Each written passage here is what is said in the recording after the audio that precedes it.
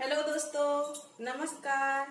आज हम आपको इस वीडियो में बताएँगे कि अगर आपको सर्दी है या जुकाम है तो उससे घरेलू उपचार कैसे किया जाता है उससे राहत पाने के लिए। तो चलिए हम आज आपको तुलसी पत्ता का काढ़ा बनाने दिखाएँगे। काढ़ा किस तरह काढ़ा किस तरह से बनाया जाता है तो हम आज बता रहे हैं। तो देखिए हमने पहले ये जवाइन ले लिया है ये अदरक हमने ले लिया है और ये हमने काली मिर्च ले लिया है। और हम तुलसी पत्ता। तो हमने चार गिलास पानी डाल दिया है।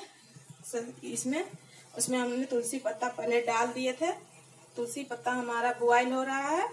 और अब हम इसको 10 मिनट से खोला रहे हैं। अब हम इसमें अदरक डालेंगे। चार गिलास हमने पानी डाला था, इसको हमको दो गिलास करना है। तो हमने अदरक डाल दिया। अब जवाइन और मरीच, ये सब अजवाइन और मरीच, ये भी डाल देंगे।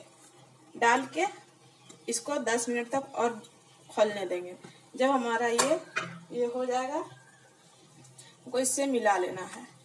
मिला के ये हमारा हो जाएगा, तब हम इसको छांक लेंगे। उसमें आप चाहे तो काला नमक भी मिला पी सकते हैं, और नहीं तो आप चीनी के साथ भी पी सकते हैं। और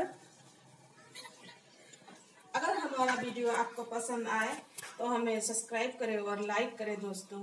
और आप इसी तरह आप अपने घर में इस तरह का काढ़ा बना सकते हैं। बाय बाय दोस्तों।